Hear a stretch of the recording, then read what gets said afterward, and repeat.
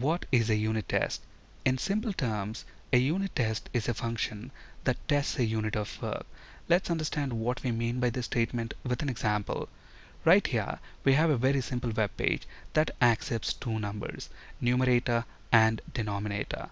For numerator, we have a value of 50 and for denominator, we have a value of 2. At this point, when we click the divide button, the page is going to divide the numerator by denominator. So 50 divided by 2, the result that is the quotient value is 25, which is displayed in the result text box. To achieve something like this, we might have a divide function like this. Notice this divide function has got two input parameters, both of them of type integer, numerator and denominator.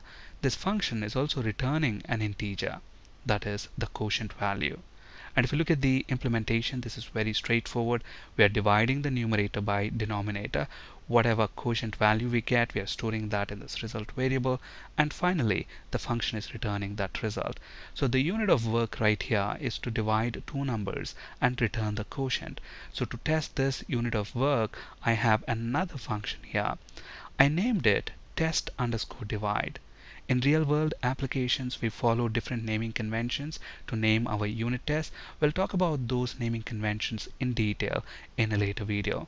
So if you compare this unit test function with this function right here, there is another difference and that difference is we have decorated this unit test function with test method attribute. So the obvious question that comes to our mind at this point is what is test method attribute? We'll discuss in detail about this attribute in a later video. For now understand that if you decorate a function with test method attribute then that function is a test function which is testing some unit of work in your application. Now let's look at the implementation. The implementation is straightforward. So within the function we have a variable of type integer. We named it expected. There's a specific reason for doing so. We'll understand that in just a bit. And within that variable we have a value of 5 and then we are calling this divide method so this divide method is this divide method right here so this divide method is present in this calculator class this calculator class in turn is present in calculator dot library namespace so we are calling the divide method and we are passing 10 as the value for the numerator 2 as the value for the denominator so when we divide 10 by 2 what should this function do it should return the quotient value which is 5 and we are getting that 5 and storing that in this variable actual.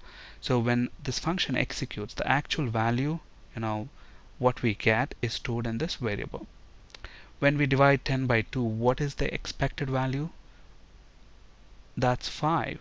So the expected value is present in this variable and the actual value is going to be in this variable. And then we are using this assert class. This class has got several static methods which we will discuss in detail in a later video. For now, we are using this method AreEqual which is going to check whether the expected value is equal to actual value. If that is true, then you know this divide function is doing what it is supposed to do. And this function is checking that you know, is this divide function working the way it is supposed to work? When we divide 10 by 2, the expected value is 5.